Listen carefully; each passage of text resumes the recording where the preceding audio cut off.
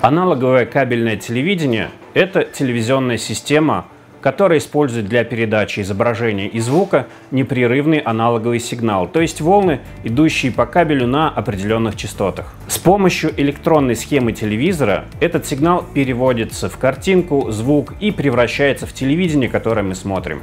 На данный момент такой сигнал уже считается устаревшим из-за высокой уязвимости сигнала к помехам, из-за ограничений среды передачи сигнала, Данный вид сигнала не отличается высоким качеством изображения и звука.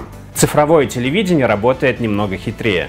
Сигнал определенным образом кодируется, сжимается и передается в цифровом виде. Это можно сравнить с аудиокассетой, аналоговый сигнал, и диском, цифровой сигнал. Разница в качестве очевидна невооруженным взглядом. Только использование цифрового сигнала обеспечивает качество передаваемого звука и изображения. Существуют разные форматы цифрового сигнала, все они по-разному кодируются, сжимаются, обрабатываются телевизорами.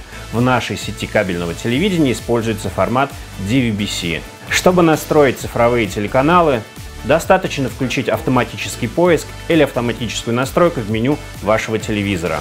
Информация о ручной настройке телевизора есть на нашем сайте icomtel.ru.